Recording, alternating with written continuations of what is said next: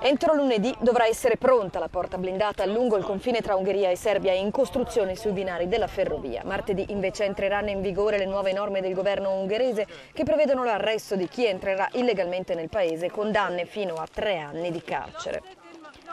A Rauske intanto si rischia l'emergenza sanitaria. Il flusso di migranti sembra un fiume in piena impossibile da controllare. O continuiamo a costruire confini e a trattare la gente con brutalità, schierando l'esercito e mettendoli nei campi di detenzione, oppure accettiamo il fatto che i richiedenti asilo continueranno a provare a venire in Europa e devono essere trattati in maniera umana e poter esercitare il loro diritto d'asilo.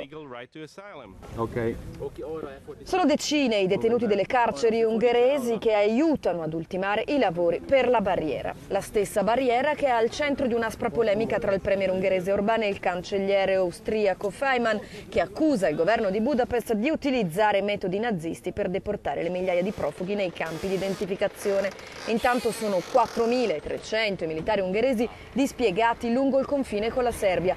Orbán ha avvisato da martedì chi verrà trovato senza documenti validi verrà rispedito da dove viene.